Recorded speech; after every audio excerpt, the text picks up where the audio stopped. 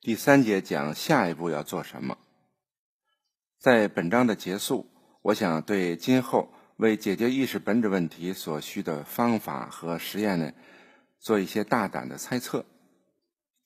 关键是要对前脑神经元大大小小的集群的特性建立理论性的认识。这可以通过电生理记录或者光学成像。从适当训练过的动物脑内记录风电位序列来实现。仅通过一次实验就可以获得数十亿比特的信号。如果对这些信号进行辨识、显示乃至理解，需要新的计算手段和算法。当猴子在经历双眼竞争、闪现抑制、动质盲以及其他知觉刺激时，这里边指同样的刺激可以给予受试者不同的知觉。我们已经可以在其视觉等级结构的许多层次，以及在皮层额叶的许多神经元中，同时记录其风电位发放活动。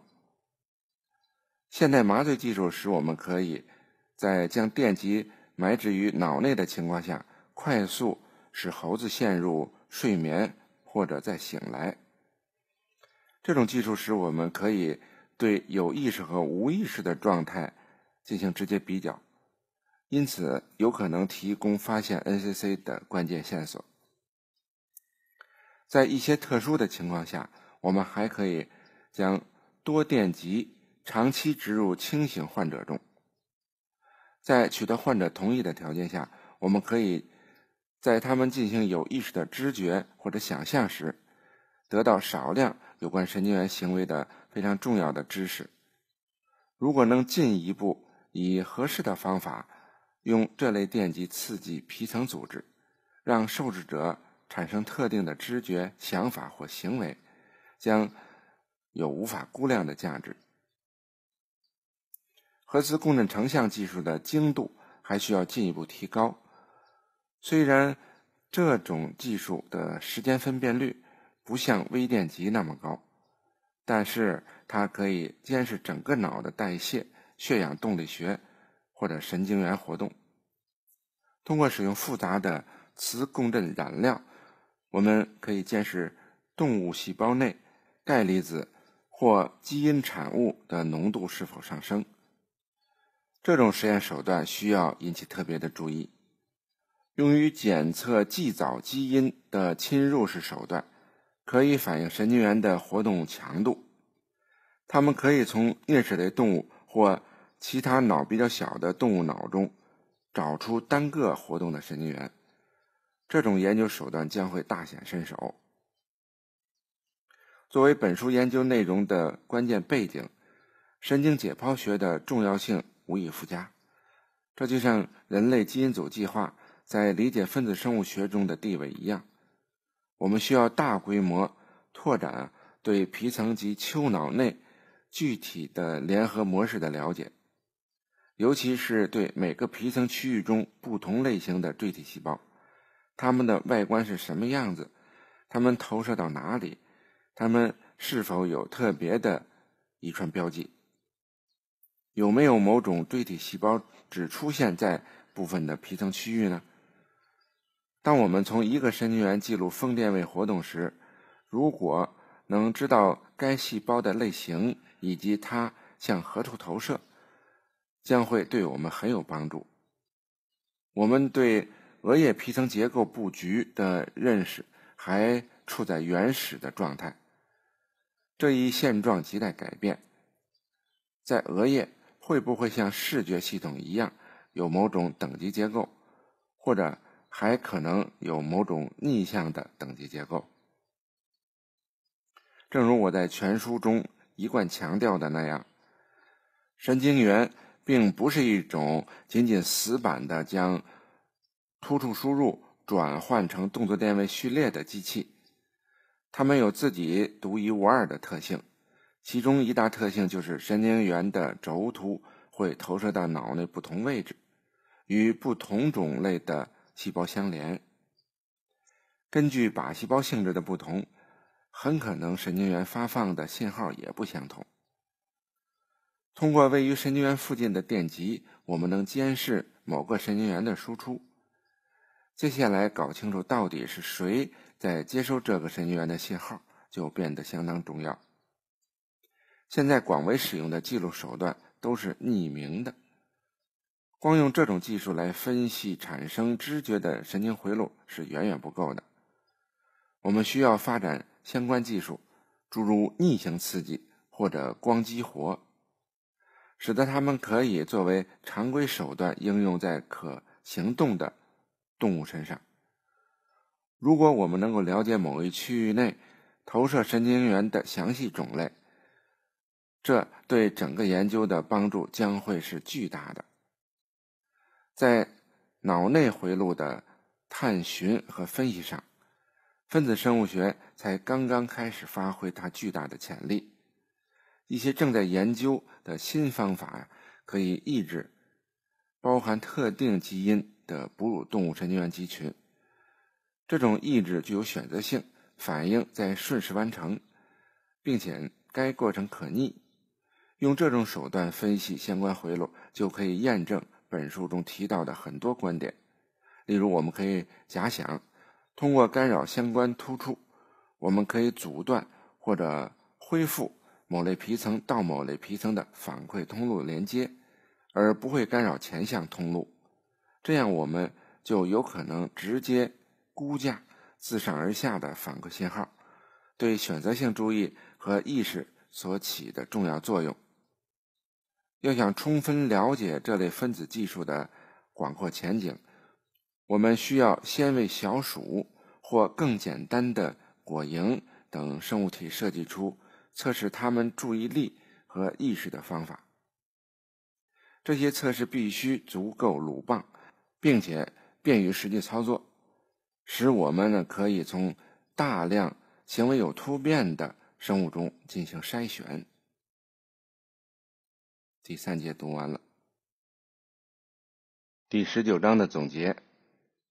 这一章把弗朗西斯和我多年的概念性基础工作。总结成十条工作假说，这个临时性的框架为建立更具体的假说提供了方向。新的假说可以用现有的实验结果做检验。这个框架还可以为进一步实验提供建议。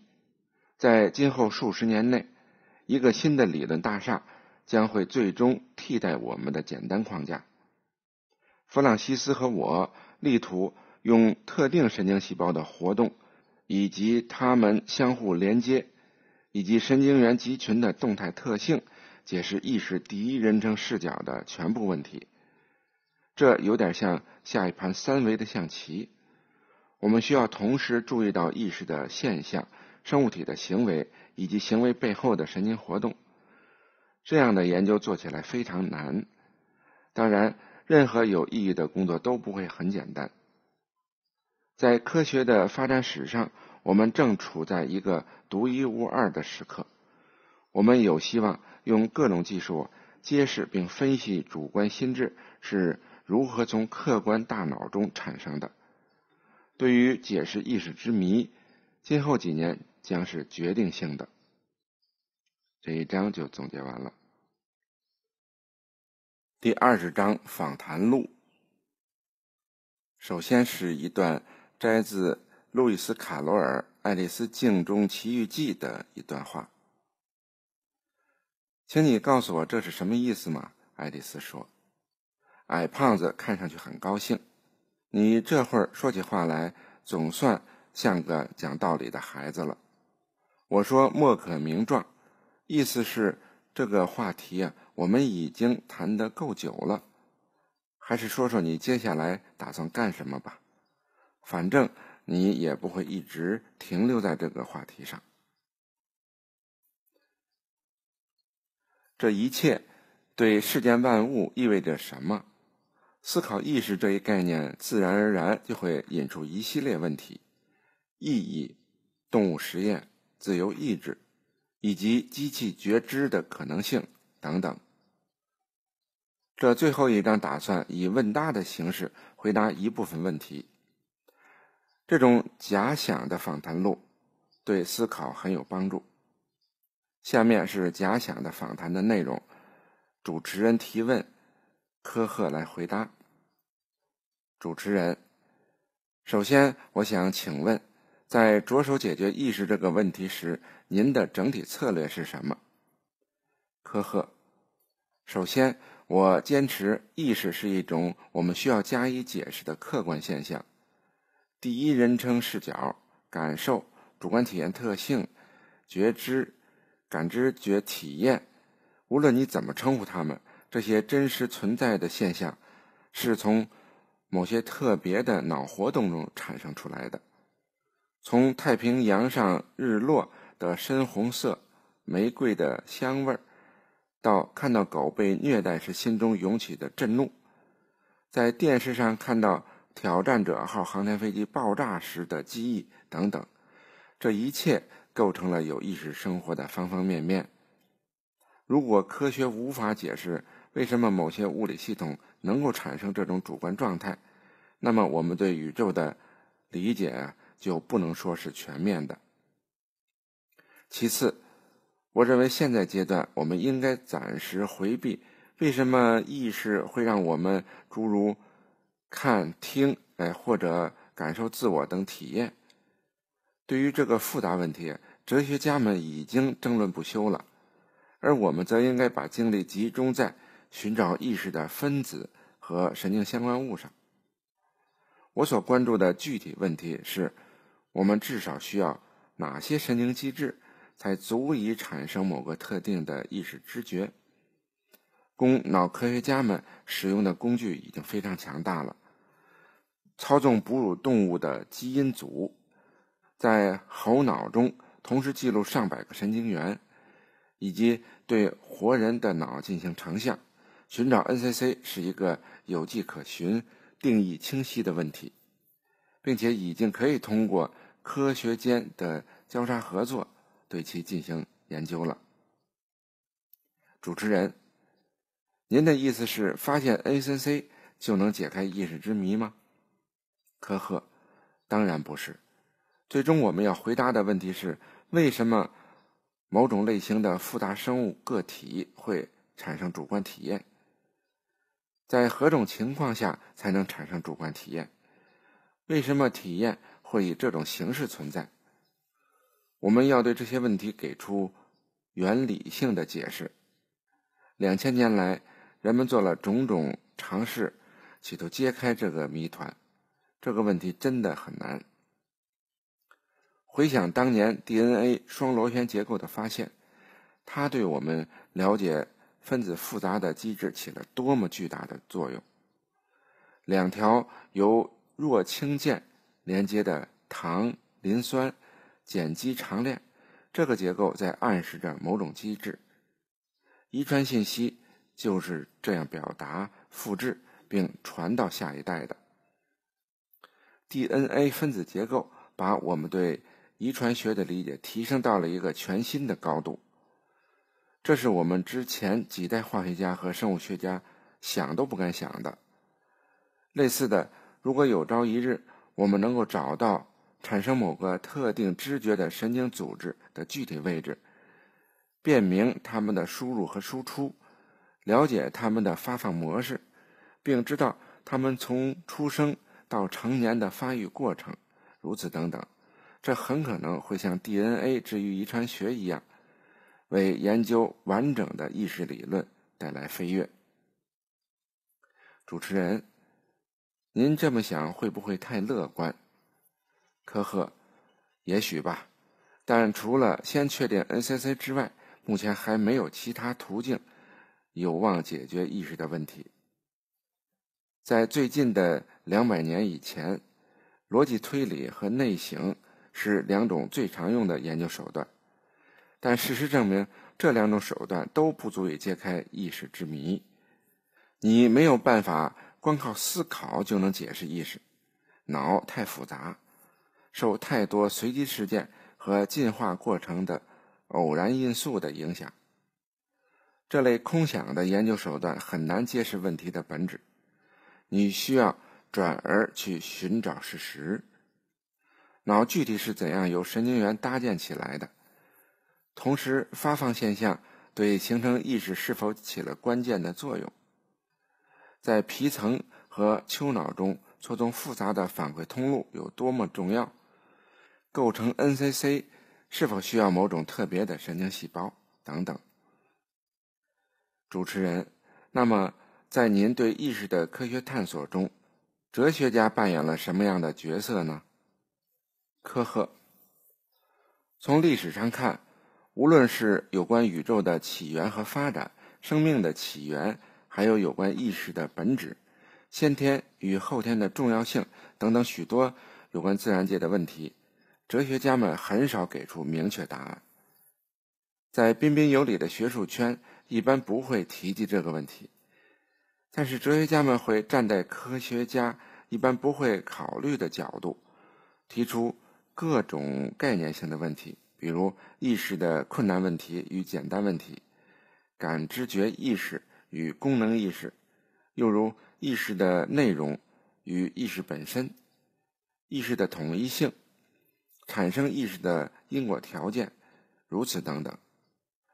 这些问题都是非常值得科学家多加思考的，故而我会听取哲学家提出的问题，但是不会被他们的解答所左右。对哲学家提出的“僵尸”这一概念，我就是如此处理的。主持人，僵尸，您是说被邪灵附身、伸着双臂走动的尸体吗？呵呵，不，我是说。像你我一样的人，但是他们自身没有一丁点意识。查马斯和其他哲学家们借用了这种没有灵魂的虚构生物，来说明我们并不能从宇宙的物理规律中推出意识。就算我们懂得了物理学、生物学、心理学，我们还是无法了解为什么宇宙会存在体验这个事物，或者体验究竟是如何生成的。要理解这些问题，我们还需要别的一些东西。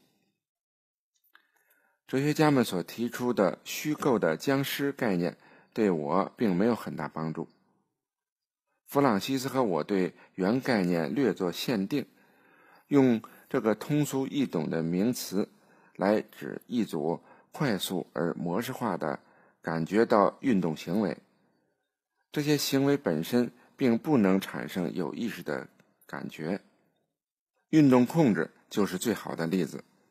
当你想在一条道上跑步，你跑就是了。你的本体感受器、神经元以及骨骼肌系统会负责其余的工作，于是你就跑起来了。然而，若是想对这个问题进行内省，你脑内可能只是一片空白，意识无法触及这类看似简单行为背后的一连串。复杂的计算和动作。主持人，那么可不可以说僵尸行为只不过是一些更复杂的反射？科赫，是的，你可以把它当做在皮层上的反射。要想拿一杯水，你需要伸开手臂，自动张开手并握住杯子。这个动作就包含了从视觉输入到控制胳膊和手的僵尸动作。日常生活中，你每天都要做成千上万个这样的动作。当然，你能够看见杯子，但这类有意识的知觉是通过另一套系统的神经活动才得以实现的。主持人，你的意思是，在有意识的正常人体里，也同时存在着下意识的僵尸系统？科赫，完全正确。在人们日常行为中。僵尸行为的比例大得令人吃惊，无论是开车上班、移动双眼、刷牙、系鞋带，还是在大厅里和同事们打招呼或者打理家务，这些活动都是自动完成的。另外一些经过训练的活动，如攀岩、跳舞、武术或者网球，这些活动都是在无意识下的、不刻意思考的情况下。才能有最佳的表现。如果在某一步的运动上考虑太多，反倒会影响这个流畅的执行过程。主持人，那要意识有什么用呢？我可不可以就是一具僵尸呢？科赫，从逻辑上说没有问题。你若是真的选择做一具僵尸，那种完全没有感觉的生活也许会很无聊。当然，作为僵尸，你自然也不会产生无聊的感觉。不过，这个星球上的生物还是选择了有意识进化这条路。某些非常简单的生物，也许除了一些僵尸体之外，就没有别的什么了。可以说，也许蜗牛或者蛔虫之类的生物不会有任何感受，但对于有着无数输入感受器和输出效用器的生物体，比如哺乳类动物，如果为某种可能的输入输出组合都建立一套僵尸体，这个代价就太高了。都装在炉内，恐怕也会太占地方。生物在进化过程中选择了另外一条路，以处理意外状况和对将来做计划为主要任务，做出一套强大而灵活的系统。NCC 采用了一种简洁的方式，选择性的表达环境中你所关注的那部分信息。这些信息会通过某种即时记忆。传达到脑内的决策单元。用计算机的术语来说，觉知的当前状态对应着 CPU 的缓存。当意识流从视觉性知觉转移到记忆或者说话，缓存的内容也随之发生着变化。主持人，我明白了，意识的功能是在缺乏自动机制的时候，对一些特殊情况进行处理。这么说确实有些道理，但是为什么这一切要与主观体验密切相连呢？科赫，问题就出在这儿了。对这个问题，现在还没有一个确切的回答，或者具体讲，现在的各种回答还存在各种问题，没有哪个理论听起来很可靠，或者被广为接受。弗朗西斯和我认为意义。在意识中起了重要的作用。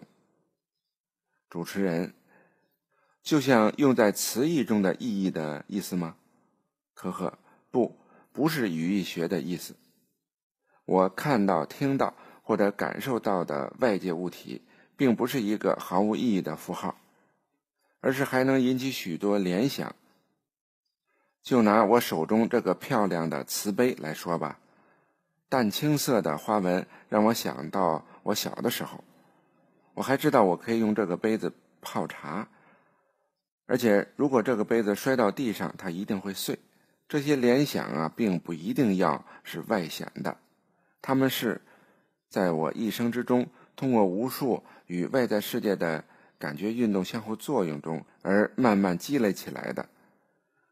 这种难以言表的意义，就相当于。表征这个慈悲的神经元与对应其他概念和记忆的神经元之间全部突出相互作用的总和。这些大量的信息通过与杯子知觉相关的主观体验特征，以一种非常简洁的形式表现出来。这就是你体验到的东西。暂且先不谈意义。数百年来，对于意识的探讨一直充斥着。各种啊无凭无据的猜想。我们的理论框架的重要之处在于，根据这一框架，可以对意识做具体的测试。僵尸体只有在当时当地起作用，所以它并不需要短时记忆。如果你看到有任何人向你伸手，于是你也伸过去手同他握手，这时因为从看到对方的手到伸出自己手存在一个时间差，僵尸体就无法处理了。它并不是为了处理这种事情而进化出来的。我们需要一个虽然慢一点，但功能更强的意识系统来取代它。我们可以通过一个简单的实验区分意识与僵尸在动物、婴儿以及因病失去交流能力的患者身上的区别。我们强令受试者个体延迟几秒钟后做出某种选择，比如令他抑制某种本能行为。如果该生物不需要大量的训练就可以把这件事情做好，那么它一定使用了某个规划模块。至少对人类而言，这个模块与意识的关系非常紧密。如果用某种方法破坏了产生这种动作的 NCC，那就不再能做出延迟反应了。主持人，这个测试听起来不怎么严格啊。科赫。现在要给一个明确的定义还为时尚早，请回想一下二十世纪五十年代的情形。要是分子生物学家在那时对基因的确切定义顾虑重重，他们又能有多少新发现呢？即便到今天，要想说清楚基因是什么，都还不是一件容易的事。你可以把我的方案比作为某种图灵实验。不过，图灵实验是针对智能，而这里是针对意识。这个实验能很好的应用到梦游的人、猴子、小鼠以及蝇类上，这才是这个测试的意义所在。主持人，等一下，您是说昆虫也可能有意识吗？科赫，很多学者认为意识需要语言，还需要对自我的表达。因为有了自我呀，才能够进行类型。毫无疑问，人类可以自己考虑自己。然而，这种能力只不过是某种啊早已存在的、更为基本的生物现象的一种最新的表达方式。意识可以和非常基本的感受有关，比如你看到的紫色或者感到的疼痛。这种感觉难道需要语言或者需要高度进化的自我感吗？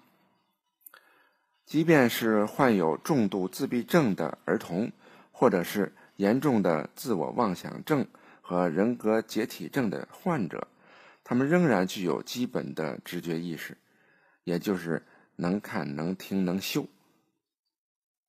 我所研究的这类知觉意识比语言更早诞生，于是自然会有人问：意识可以追溯到生物进化史的哪个阶段？U R 杠 N C C 是在什么时候出现的呢？根据不同哺乳动物在进化史上的同源关系，以及人、猴子、狗、猫脑结构的相似性，我认为啊，它们都能够对他们所看到、听到、闻到的东西有所知觉。主持人，那小鼠呢？它们？可是生物学和实验室里最常用的哺乳动物啊。呵呵，操纵小鼠的基因组，无论是添加新的基因还是剔除原有的，都比较简单。分子生物学家可以用延迟测试来实际区分僵尸与意识。就研究 NCC 的基础而言，这是一种非常有用的模型。我的实验室和其他一些人。正在探讨用经典的巴甫洛夫条件反射，以小鼠为模型来研究注意和觉知。主持人，等一下，为什么您刚才说觉知而不是说意识呢？这两个概念有什么不同吗？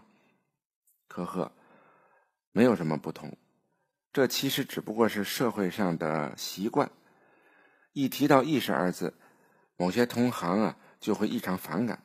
所以在写科研项目申请或者提交学术论文的时候，改用觉知，更容易瞒天过海。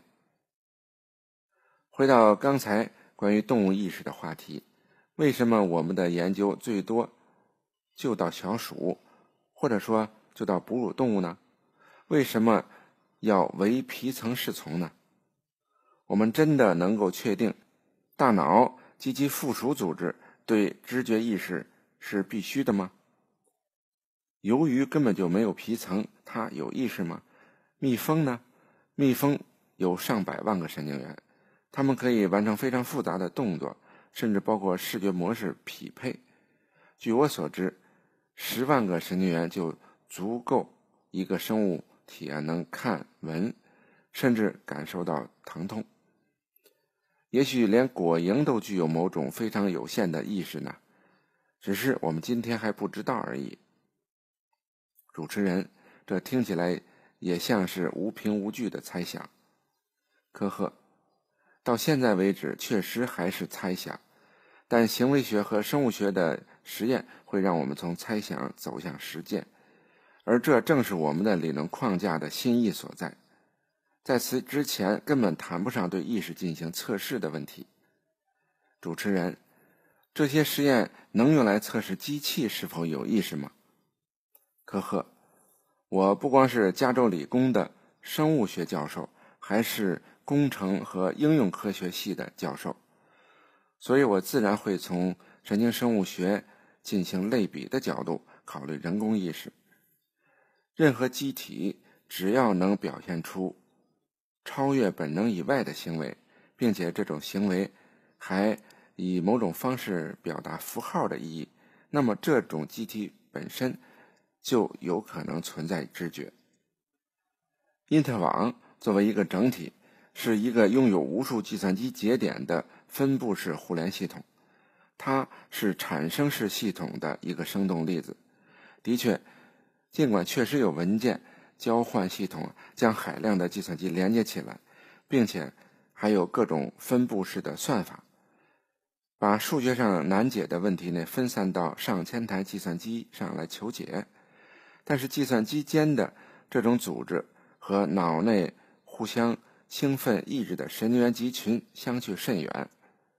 整个互联网上不存在集体行为，我还没有见过事先没有在软件中设计好而能够自发产生的大规模的有目的的行为，除非它不依靠设计者，能自己实现像控制电力供给、管理航空路线。或者操纵金融市场这样的行为，否则我们不能说互联网有意识。随着自主运行的电脑病毒和蠕虫的诞生，也许将来情况会有所改观。主持人，他能做出各种类似的反射的行为，比如规避障碍、防止电池耗尽，或者与其他机器人进行交流。它还有一个。通用的规划模块，它能算是有意识吗？科赫，如果通用模块强大到能够表达机器当前感受到的环境，比如它自身的信息，以及从记忆中提取与当前环境相关的信息，因此可以独立完成有意义的行为。此外，再假定这个机器人可以学着把感官事件同正负目标。状态联系起来，得以借此引导自身的行为，比如环境高温会导致机器的供电电压降低，这是它一定要竭力避免发生的情况。那么在这种情况下，温度升高对于机器人就不仅仅是个抽象的数字了，它与该个体的健康信息相关。对于这样一个机器人，我认为。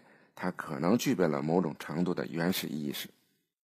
主持人，这好像只有原始的意义啊。科赫的确是这样，但是在你出生的时候，你除了能够感到疼痛或快乐之外，还能有更为丰富的意识吗？当然，意义也可以源自其他地方。我们可以想象，这个机器人通过非监督式学习。建立起某种感觉运动表达，它会在跌跌撞撞中吸取教训，并发现它的动作会导致某种可预测的结果。同时，它还可以通过比较多的感觉模态的信息，建立更为抽象的表达，比如嘴唇的运动和某种断断续续的声音模式常常一起出现。某个概念。外显表征的程度越高，其意义呢也就越丰富。要想建立这些意义，最简单的办法就是让设计者完全仿照儿童的发育期来设计机器人。主持人，这就像电影《二零零一太空漫游》里边那个偏执狂计算机 HAL。不过您还没有回答我刚才的问题呢。延迟测试是否能把真正有意识的机器和假装成有意识的冒牌货区分开来？科赫，这个测试是用来区分生物体的反射系统和意识系统的，但并不意味着同样的测试对机器也有效。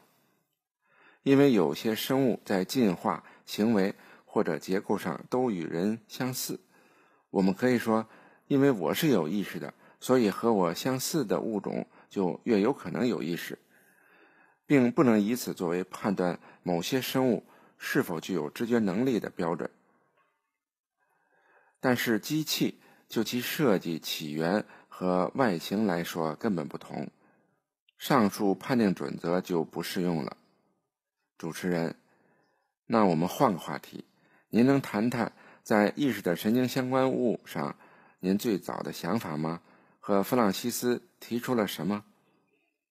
科赫，在一九九零年，我们首次合作发表一篇关于 NCC 的论文，文中提出，有一种形式的意识需要与不同皮层区域神经活动的动态绑定相关。主持人，等一等，什么叫绑定？科赫，想象一辆呼啸而过的法拉利跑车，这一情景会诱发你脑内无数位置产生神经活动，但是你只看到一个红色的车形物体往某个方向运动，并且发出巨大的噪声。这个完整的知觉需要融合各种神经元活动，包括表达运动。色彩、形状和声音的神经元。与此同时，你还注意到有一个遛狗的人走过，这种情形也需要某种神经表征，而这种表达不能与法拉利的表达相混淆。与我们发表1990年那篇论文同时，由辛格和埃克杭分别领导的两个德国研究小组啊。各自独立发现了某种条件下，猫视皮层的神经放电存在同步现象。通常这种现象会周期性的发生，于是产生了著名的四十赫兹震荡。我们提出这一现象是意识在神经元层次上的标志。主持人，这些实验依据现在看起来如何？科赫，在神经科学界。在同步和震荡问题上，至今还分成两派。如果某个学术期刊先发表了一篇文章论述它们的功能意义，那么下一期呀一定会有文章站出来否定这整个概念。这种情况和毫无根据的冷核聚变不同。二十到七十赫兹之间的神经元震荡和同步发放现象已经被人们广为接受。但是，有争议之处还很多。我们对数据的解读是这样的：同步震荡的发放会使代表了某一个知觉的集群抑制其他集群，最终取得主导地位。这一机制很可能对注意偏好起到了至关作用。但是我们现在不再认为四十赫兹震荡是产生意识的必要条件了。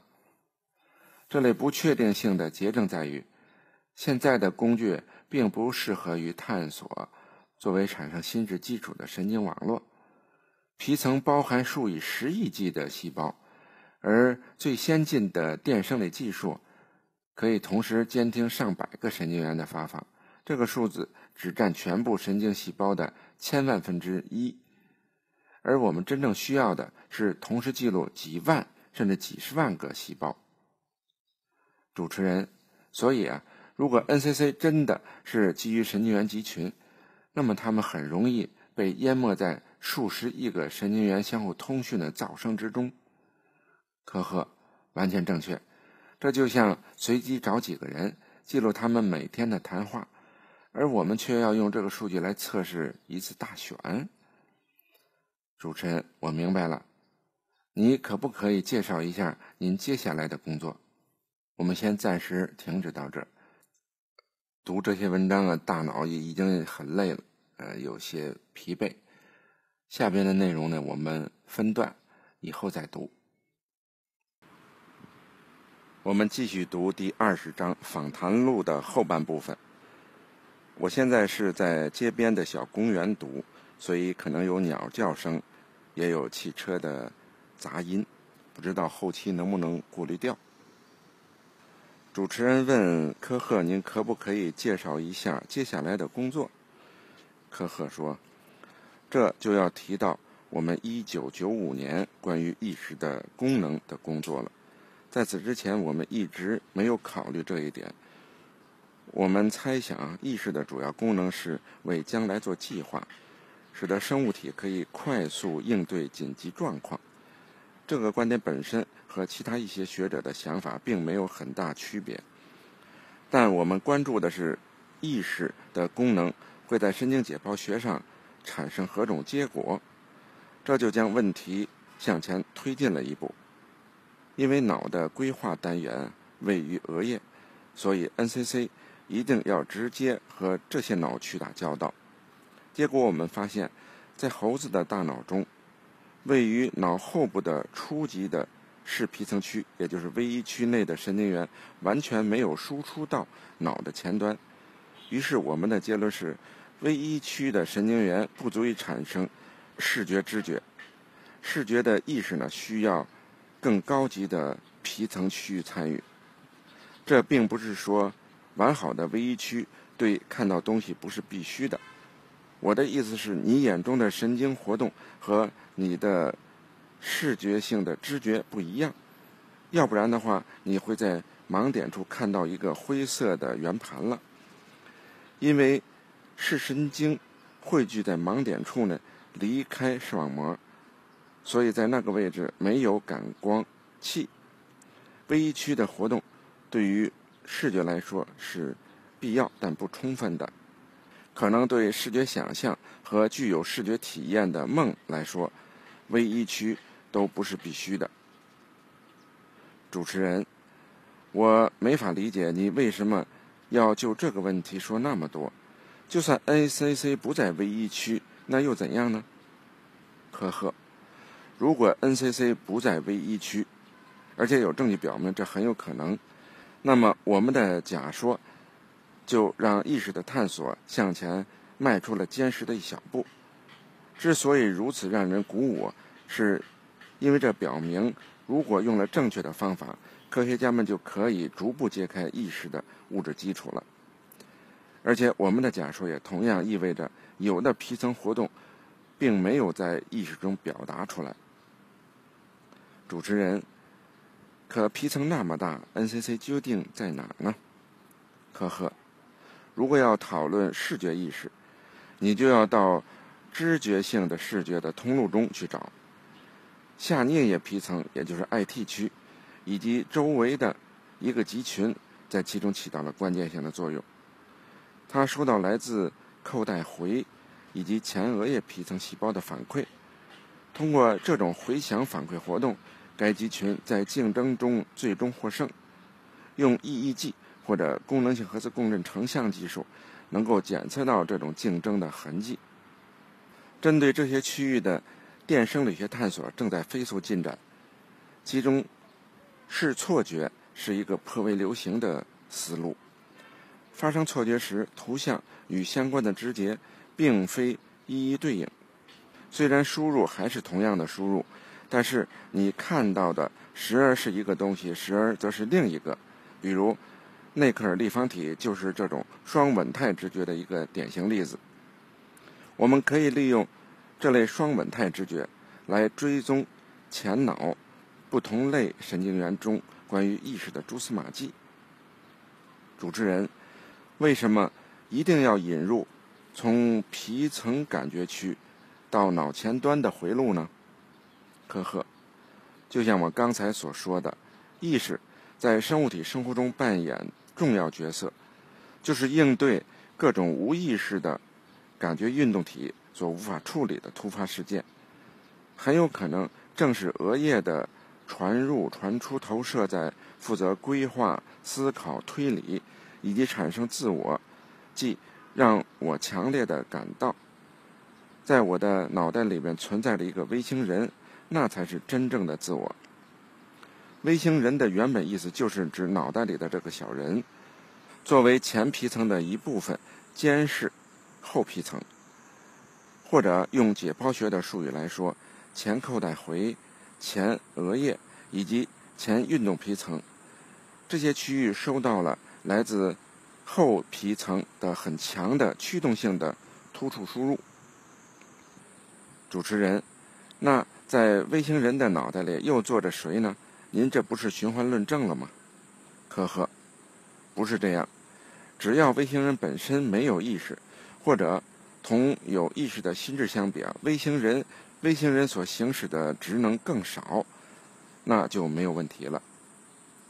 主持人，微型人可以自由的产生动作吗？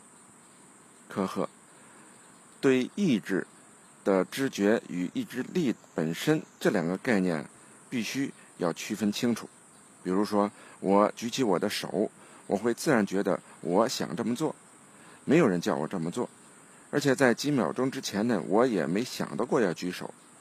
这种控制力、主体感啊，就是我能控制我身体的这种感觉，对生存啊是非常重要的。这样，我的大脑就会将这些动作标记为我自身的。对于主体感的。知觉当然也有其对应的 NCC。神经心理学家韦格纳指出，这种我能完成某个动作的信念，可以被看作是某种乐观主义。它使我能够充满信心，而且又自在地完成那些悲观主义者们从未尝试过的动作。主持人，那您觉得您举手是因为刚才发生的事故导致呢？还是因为自由意志？科赫，你是想问，从形而上学的观点看，在物理学定律之内，可否存在某种自由意志吗？对于这个古老问题，每个人都有自己的见解，不过现在还没有一个广为接受的解释。我确实知道存在很多动作与意图相分离的情况，在日常生活中，你会经常看到此类的错误。比如在攀岩时，你想爬上那个平台，身体却跟不上，因为身体啊已经被吓住了；或者在山路间跑步时，你的意识已经松下来，但双腿还在前进。想做某个动作的体验与动作本身，还可以通过更极端的形式分离开，例如催眠、碟仙、笔仙、辅助。沟通疗法、灵魂附体、在群体中的去个性化，以及人格解离症等等。然而，我举手的动作是否就自由的像瓦格纳那本书叫《尼伯龙根的指环》中齐格弗里德摧毁诸神的旧秩序那样自由呢？我表示怀疑。主持人。从你刚才的话听起来，你是否认为对 NCC 的探索可以和自由意志的问题分开来谈？科赫，是的，无论自由意志是否存在，你总还得解释体验和感觉之谜。主持人，那如果真的发现了 NCC，会带来怎样的结果呢？科赫，最显而易见的。是实际应用上的结果。我们可以跟踪 NCC 状态。这种意识计啊，可供医务人员监测早产儿、婴儿、重度自闭症患者、早老性的痴呆患者以及因伤不能讲话甚至不能做任何表示的病人，观察他们是否有意识。它还可以改善麻醉师的工作。在了解了。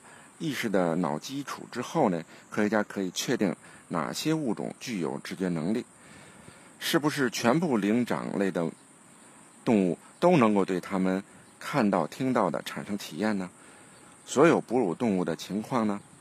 所有多细胞生物的情况呢？如果真的发现 NCC，就会对动物权利的讨论进行的更加深远。主持人，这个怎么说呢？科赫。对于没有 NCC 的物种，我们就可以认为它们只不过拥有固定的感觉运动回路，但不存在主观体验的僵尸。我们对这些物种的保护力度就可以啊，比那些在某种条件下产生出 NCC 的动物呢弱一些。主持人，那么是不是你不会用任何能够感受到痛苦的动物来做实验呢？科赫，在理想的情况下，我不会用的。但是，我的一个女儿啊，在八周大的时候死于婴幼儿突然的死亡综合症。我父亲在经历了十二年帕金森的痛苦之后，最终并发阿尔兹海默症而去世。我的一个好友啊，因为不堪精神分裂症的痛苦而自杀。我们需要动物实验来消除这种种折磨人类的神经疾病。进行动物实验应当小心谨慎，充满同情，并且尽可能获得动物的配合。主持人，这些理论对伦理和宗教能产生什么影响呢？科赫，从形而上的角度看，重要的问题是。神经科学家能否成功的从相关性的研究进一步深入到因果关系的研究？科学要给出一条从神经活动到主观知觉的因果链，它需要一个理论来回答什么样的生物体在什么条件下可以产生主观感受，这些感受是做什么用的，以及感受是如何产生的这一连串问题。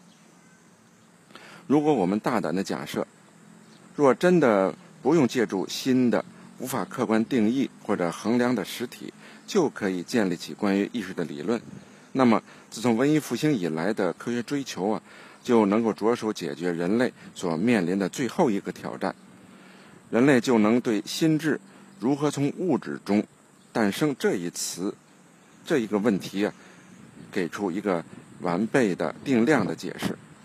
这必将对伦理学产生深远的影响，包括给出人类的全新的定义。此定义很可能会与不同时代、不同文化的人们所总结出的传统定义大相径庭。主持人，但是并非所有人都赞同您这样的说法。很可能有人会把这种看成是科学暴力而没有人性的一面。他要把整个宇宙的意义和重要性铲除干净。呵呵，为什么要这样想呢？为什么我们对周围世界的欣赏会因为这些知识而减弱呢？我所看到、闻到、尝到、摸到的一切，无论是你、我这本书，我们呼吸的空气，我们立足的大地，天空的星星，全部。是由九十二个元素构成的，我对此呢深感惊奇。这些元素还可以按一定的周期排布，而这些又都是建立在更为基础的质子、中子、电子三种基本粒子上的。难道是卡巴拉知识下这种密教形式可以给人带来更大的满足感吗？全部这些知识都不会丝毫影响我对生命。对人、狗、自然、书籍以及音乐的热爱。主持人，关于宗教信仰呢？世界上绝大多数人都相信人死之后灵魂会以某种形式继续存在。你对这些人想说些什么呢？科赫，很多这样的信仰都与现今的科学世界观相矛盾。我们现在已经搞清楚了一点是，任何。有意识的动作或动机，都和某种物理基础相关。当生命结束时，意识会灭亡，因为没有脑就没有心智。但是，这些毋庸置疑的事实不能用来排除某些关于灵魂复活或者上帝的信仰。主持人，您花了五年时间写书的任务终于结束了，您的孩子也都考上了大学。那您下一步打算做什么呢？科赫，就像 M. 赫佐格在第一次登上喜马拉雅山脉的安娜普尔纳峰时说的那样，每个人的一生中都有下一个安娜普尔纳。全书完。